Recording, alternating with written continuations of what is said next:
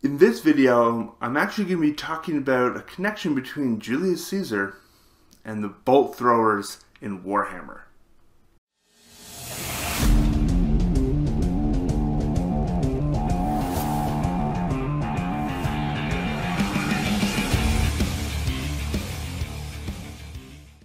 I've been rereading Caesar's commentary De Bello Gallico.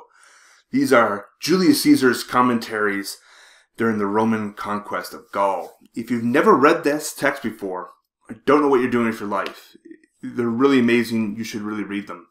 Uh, I bring this up because there are many sieges throughout the text, and the Romans were very proficient in utilizing uh, torsion artillery of various sizes.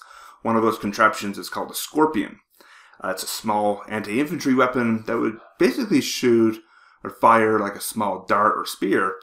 There have been a lot of uh, bolt throwers throughout the history of Warhammer, from orcs and goblins, both high and dark elves, the dwarves, and even the relatively new Stormcast Ballista.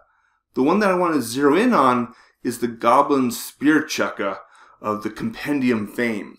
So this was a weapon that shot between one and two shots at 36 inches. It hit on a 4 plus, wounded on a 3 plus. It had minus 2 rend and did D3 damage. Was a fun little model, and it had a rule called get the one with the big hat that allowed you to, to get basically plus 1 to hit when targeting a character. Now, because of a passage in Julius Caesar's report, this little assassination unit has always been stuck in my head.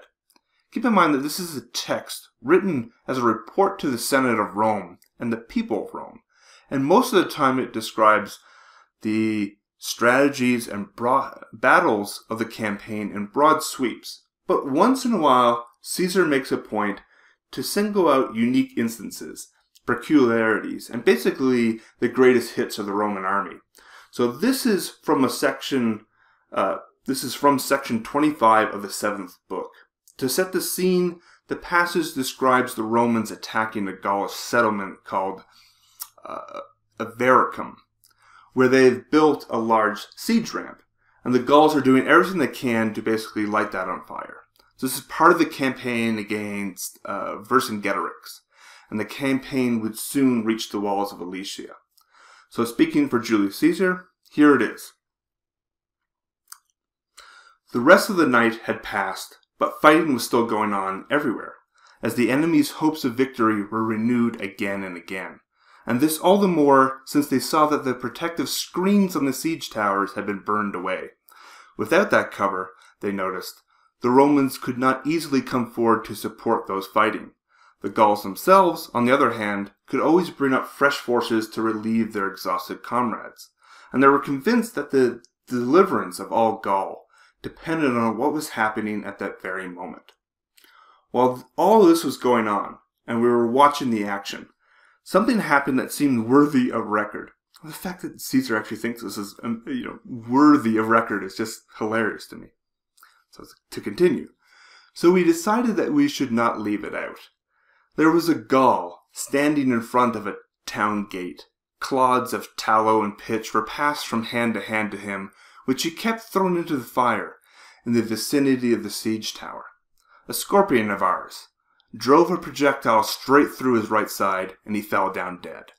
One of the Gauls near him stepped over his body where it lay and began to perform the same task. The catapult shot and killed him in exactly the same way. A third man stepped in to replace the second, and then a fourth to replace the third. That spot was not defend, abandoned by the defenders until the fire on the siege ramp was put out, and enemy forces were swept away everywhere, and the fighting had ended. It's kind of brutal. But that, my friends, is the Goblin Spear Chukka.